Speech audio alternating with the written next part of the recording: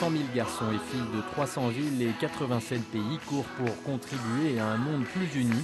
Les représentants de ces adolescents provenant d'une quarantaine de pays se sont retrouvés à Rome, sur la place Navone, pour se connaître, danser, chanter et bien entendu courir. Ce sont les adolescents du groupe Junior pour un monde uni du mouvement des Focolari. Ils viennent de religions différentes.